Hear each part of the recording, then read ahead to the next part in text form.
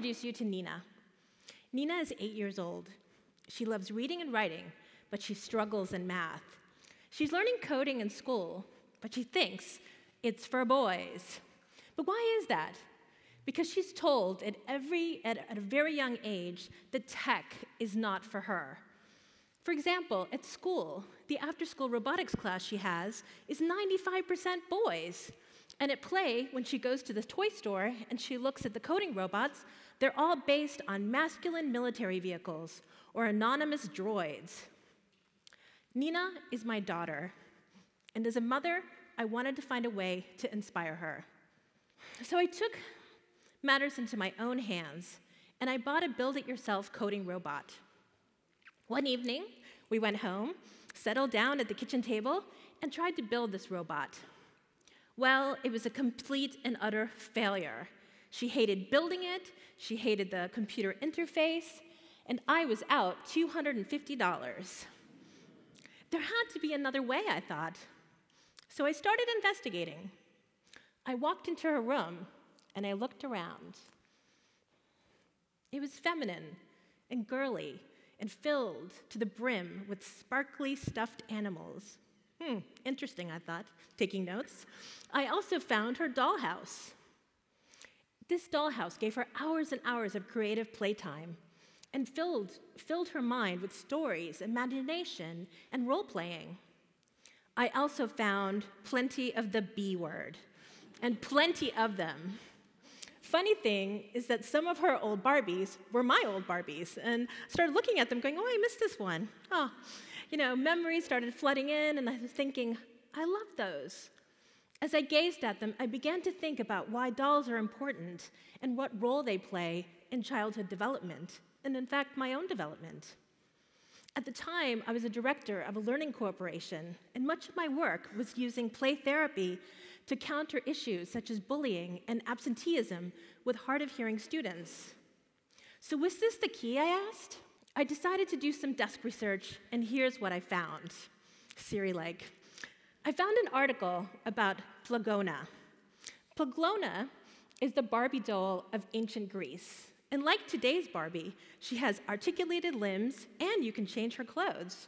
Pretty advanced for 7th century BC. Then I probably found the oldest and ugliest doll I've ever seen. this was found in a Bronze Age child's grave, dating it back to 3000 BC. Old. That's 4,500 years ago. It seemed to me that all the negative hype about doll playing and Barbies was so wrong when considering that girls have been playing with dolls for thousands of years. Today, 1 billion Barbies are sold worldwide in 150 countries, and three Barbies are sold every second. The problem is, are we asking girls to make a choice? Here we have three lovely little girls. They love to play basketball, they love to play baseball, but they also like to dress like princesses. Why do they have to make a choice? Was my question. My research took me even deeper, and I found that Nina was not alone. Actually, she was part of a worldwide epidemic. Studies show that by age 13, 65% of girls lose interest in STEM science, technology, engineering, and math. We only have 29% of tech jobs going to women, and less than 17% of tech leadership roles are taken by women. This was serious. It seemed like the time is right. Here we have 2.8 million STEM jobs going unfulfilled, and yet 7% of STEM degrees are being awarded to women. Why? Schools are requiring coding as part of core curriculum. There's this worldwide push to bridge the gender gap. It began, I began to think about it, and, uh, and then I thought about it also personally. Why do we need more women and diversity in tech? It was funny, at the time, Apple had just launched this health kit, and I was looking forward to downloading it and, and using it. What I found is that they actually forgot to track women's menstruation, and they had to rescind the app. In addition, a recent news report revealed that artificial intelligence in self driving cars do not appear to recognize people of color. So, great, we're going to get hit by cars now. Um, watch out for those self driving cars. And I live in California where they're everywhere. And now I'm like, whoop. they don't see me for some reason. Um, and this is why. This is why we need diversity and inclusion. Because if we're not part of the team that's building these apps, if we're not part of the team that's building this technology, then we're going to be left out and possibly run over. So, this is why I created the world's first coding robot aimed at girls. It's the only coding robot focused on inclusivity and diversity. Apparently, others felt that I was on the right track um, because I was approved, approved, um, approved, to be on Shark Tank, appear on the TV show, and I pitched my company to both Richard Branson and um, received an investment from Daymond John. Just for your information, 40,000 companies apply each year, and only 100 are accepted. So it's a pretty big honor to be, to be chosen. Thank you. Thank you we got the pleasure of teaching Richard Branson to code, believe it or not, even though he's a media mogul. Didn't know how.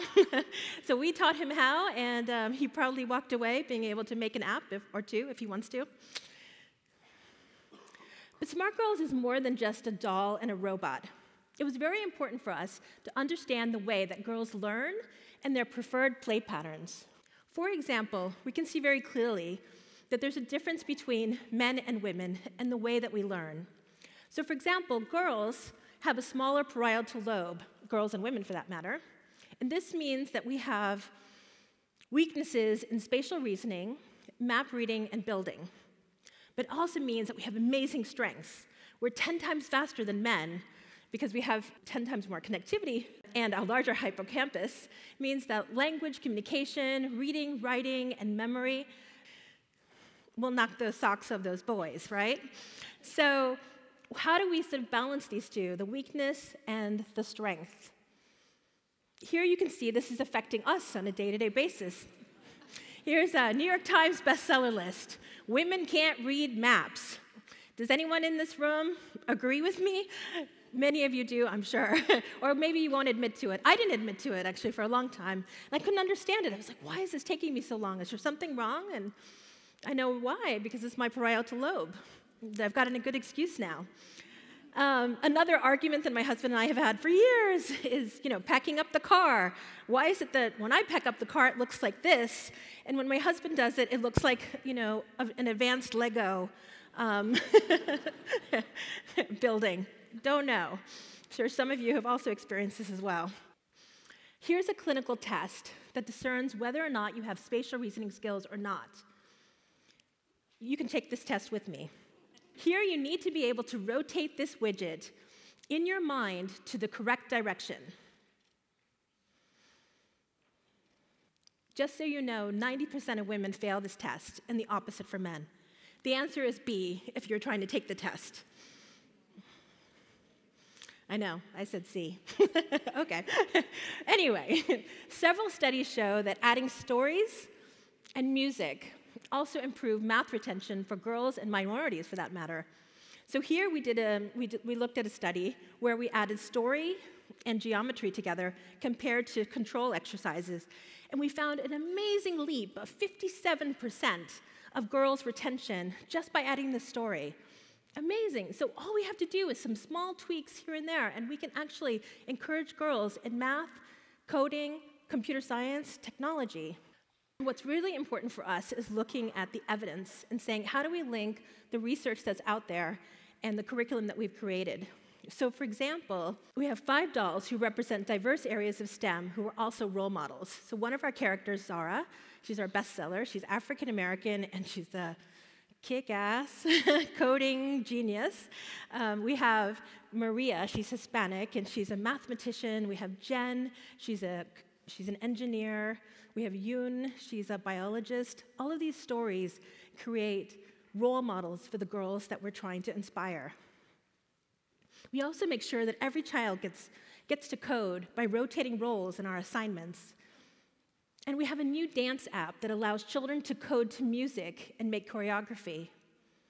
And we make sure that we, have, we don't have winners and losers by hosting by hosting talent shows instead of traditional robotics competitions, which I always felt was sort of alienating to girls because they felt, oh, I lost. You know, here, everyone's a winner, everyone has talent. What happened to Nina? Fast forward six years, and I'm happy to say that Nina did find the joy of math and is taking advanced courses in biology. Yay. Here's a picture of her at the NASA Space Camp. And for SmartGurlz, we are proud to have educated more than 30,000 girls worldwide in coding and computer science. Thank you, and I hope you join us to make all girls smart girls. Thank you.